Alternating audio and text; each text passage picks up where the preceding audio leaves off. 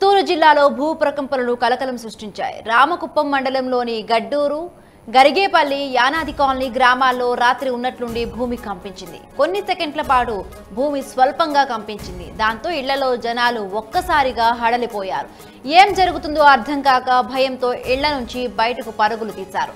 అందరూ ఒకచోట గుబిగూడి ఒకరి చేతులు మరొకరు పట్టుకొని వీధుల్లో నిల్చున్నారు. కాగా ఈ భూ ప్రకంపనల కారణంగా ఇళ్ళ గోడలు పగుళ్ళొచ్చాయి. దీనిపై స్పందించిన జిల్లా అధికారులు స్వల్ప భూ ప్రకంపనలే అని ప్రజలు ఆందోళన చెందాల్సిన అవసరం లేదని తెలిపారు.